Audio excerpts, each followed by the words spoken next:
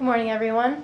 Um, so today I'm going to be presenting some of my thesis research, um, which is developing a technology, targeted delivery technology for factor VIII, um, which leverages uh, platelet behavior.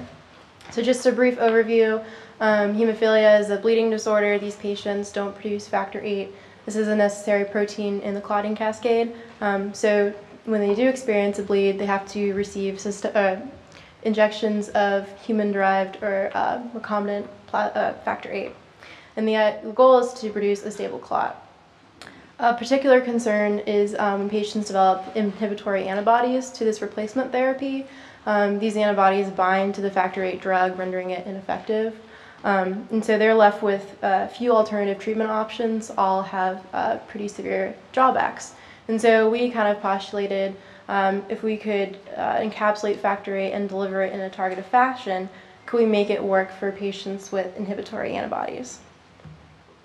Um, so that's what I've developed in my thesis research. Uh, I've developed a microcapsule particle, and inside is uh, loaded with factor VIII.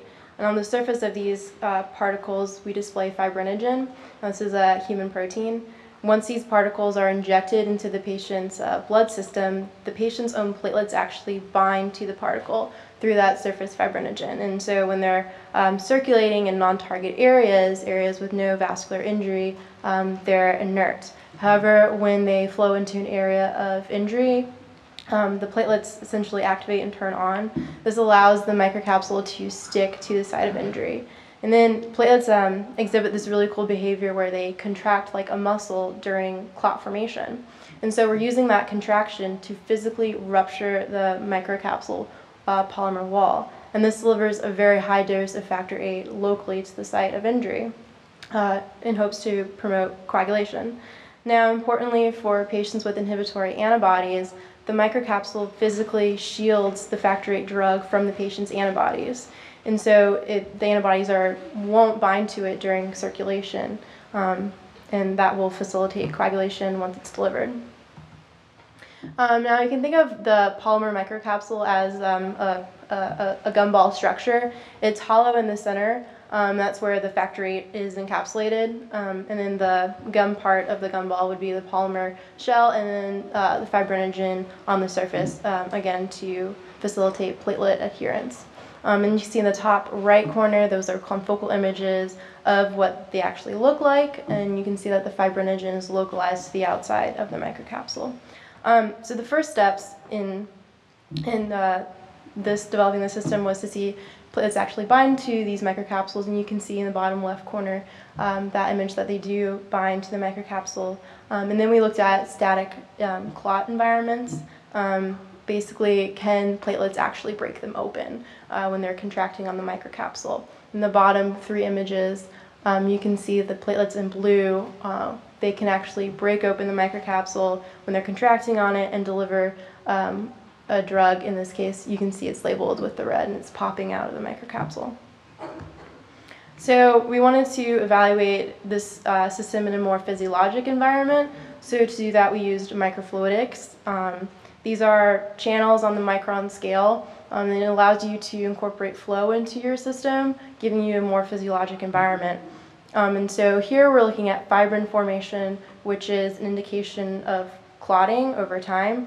Um, and this is uh, a healthy patient control. Um, oh boy, hold on. And you can see the blue are platelets and the green is fibrin and over time fibrin occurs, um, indicating clot formation. And so we're looking at fibrin formation um, in these experiments. And particularly I want to draw your attention to the left three bars in the graph.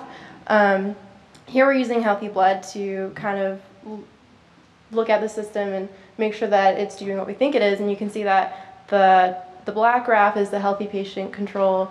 Um, the gray graph, or the gray bar, is systemic infusion um, of factor VIII. And then the white bar is factor VIII loaded in the microcapsules. And you can see that there is an increase in fibrin even in healthy blood when we're delivering factor VIII in our microcapsules. Now we wanted to look at, okay, well, how's, will this actually work for hemophilia patients with inhibitory antibodies?